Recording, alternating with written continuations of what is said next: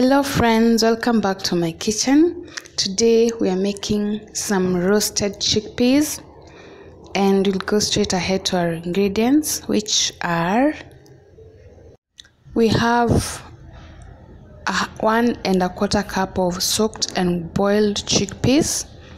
So it came out double afterwards because they increased in size. Here we have rosemary I'll write the exact measurements in the description box below. Here we have cumin and paprika. Um, you can use coriander, you can use cardamom.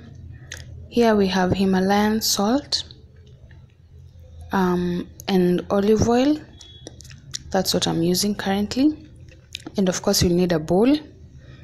So we'll begin by uh, measuring two tablespoons of olive oil. You can eyeball this. It's almost similar to the tablespoon that you use for cooking. So here we have our oil. Add your rosemary. I manually grinded them. I actually dried them myself. So you can use any herbs like thyme, sage, um, here we added our paprika and cumin and our salt. Um, be careful not to add a lot of salt because sometimes it may go overboard. All we'll do is that we'll mix this.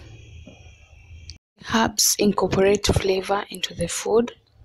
The oil helps the chickpeas to crisp crisp well while baking they don't become um, like hard and they don't burn. And also it improves the taste. Um, chickpeas are very rich in protein and lots of minerals that are good for our health.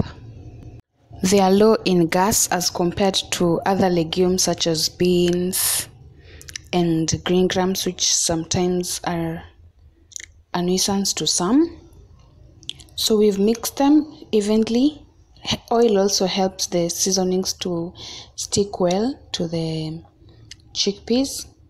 Pour on a parchment paper where you have um,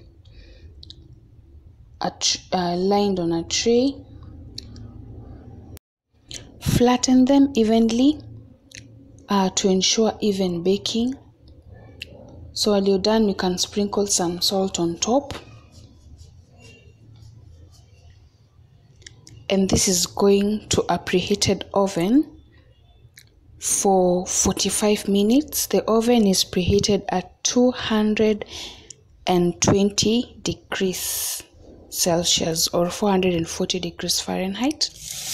And so for 45 minutes this is how they came out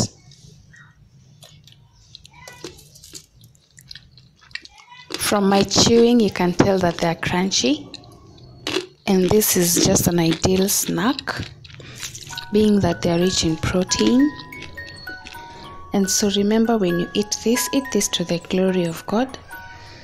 Remember to be a channel of light in everything that you do. The Lord depends on you. Bye.